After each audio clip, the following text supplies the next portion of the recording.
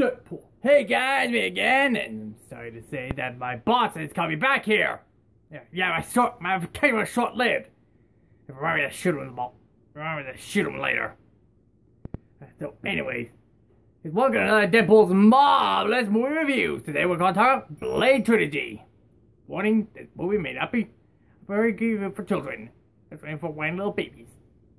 You have been warned. Oh, hold on, top my side.